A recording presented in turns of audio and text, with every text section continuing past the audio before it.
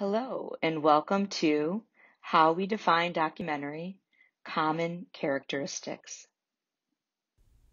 I often begin the lecture with contextual quotes. We have two contextual quotes here, one about documentary and one about art. I'll give you a few moments to read them.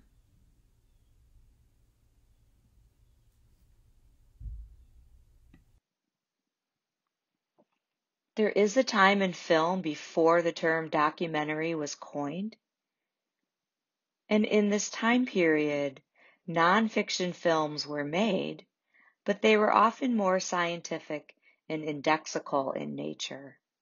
Film historian Tom Gunning refers to early examples as the cinema of attractions.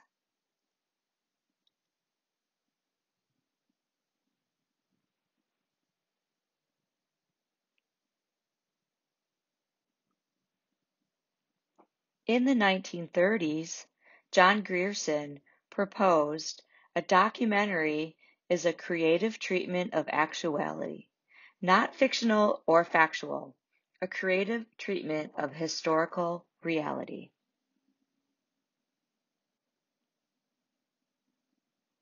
What a documentary isn't a reproduction of reality, a presentation of unbiased or undisputed truths or a collection of facts.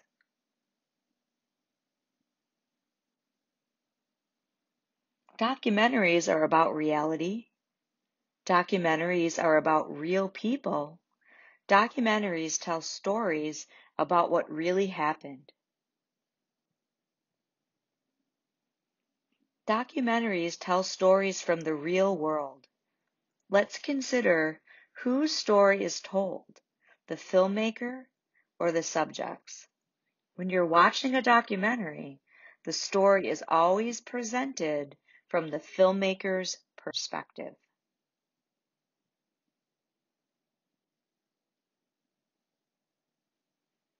Documentaries are about real people who do not play or perform roles. Instead, they play or present themselves. Consider the impact the camera has on the social actor. How do people behave differently in the natural world and then in front of the camera? Documentarians may ask participants to reenact situations. All of this has a really large impact on how social actors present themselves in a documentary. Because most contemporary documentaries follow a narrative structure, Let's look at how a narrative structure in a documentary allows for a point of view, a problem solution construct, a cause and effect construct, and a time and space construct. Four key elements comprise a documentary indexical documentation, poetic experimentation, narrative storytelling, and rhetorical oratory. Indexical documentation. We have a quote from our textbook author here. I'll let you read that on your own, but I want you to pay attention to the image on the right hand side of the slide. That's an image from the Lumiere Brothers film from 1895. And as we learned in Introduction to Film, these were the first films to be shown publicly. This predates documentary and falls into the realm of indexical documentation. They presented an actuality that happened without any type of perspective or point of view. Poetic experimentation. Avant garde art and film in the 1920s influence and enable a point of view in nonfiction filmmaking. Realism is replaced with the filmmaker's voice and vision. And on the right, you'll see an image from the documentary A Man with a Movie Camera. We'll watch that later in the semester. Narrative storytelling. Beginning in 1906 and continuing with the emergence of editing, filmmakers like D.W. Griffith and styles of editing like Soviet montage. There's a picture of Sergei Eisenstein on the right. Allow narrative storytelling to begin to replace spectacle in film. Rhetorical address. Rhetoric in communication is the art of persuasion. Rhetorical address in documentary, I have a textbook author quote here, sought to address an audience persuaded of the merits of a perspective to predispose us to action or become immersed in sensibilities and values of the speaker. To conclude what we've been talking about here in relation to common characteristics of documentary, documentary film is the intersection of indexical documentation, poetic experimentation, narrative storytelling, and rhetorical oratory. These elements combine to give documentary a perspective and a voice, and they speak to the spectator about an event in our shared world. Mockumentary. What is it?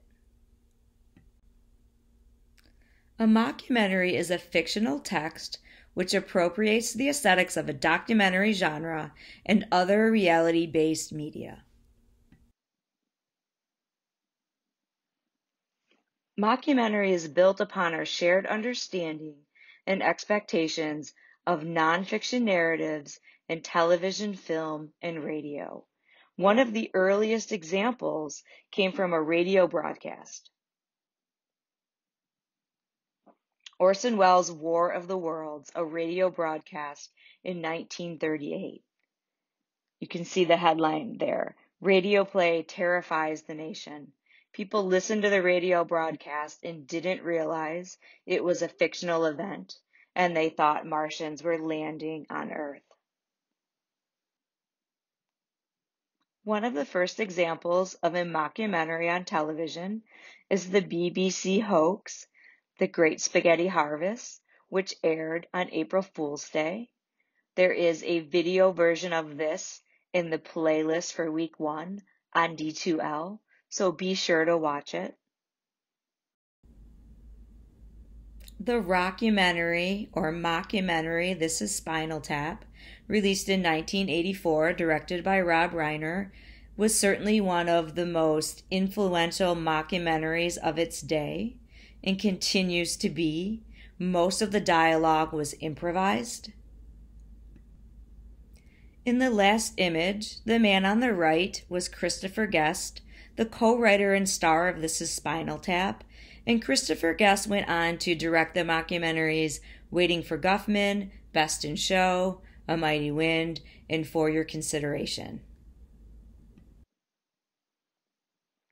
Mockumentary on television. Examples include The Office, Curb Your Enthusiasm, Trailer Park Boys, Reno 911, and Arrested Development. Mockumentaries like the film Borat and television show Curb Your Enthusiasm blur the lines by having fictional characters and actual people interact in non scripted sequences. Mockumentaries are often used to give social commentary. The 1992 Belgian mockumentary Man Bites Dog presents a dark and violent look and questions the codes of objectivity and ethics in reporting and documentary filmmaking, a warning to potential viewers this film contains graphic and violent content.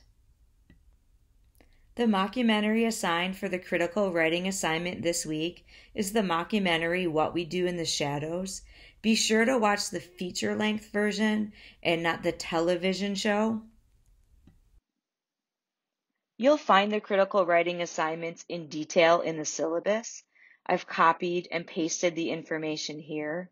The expectations are that you're writing a minimum of two pages, that's roughly 500 words, in MLA format and supporting your claim critically with evidence from your research. It's not necessary to give a full plot summary in a critical essay.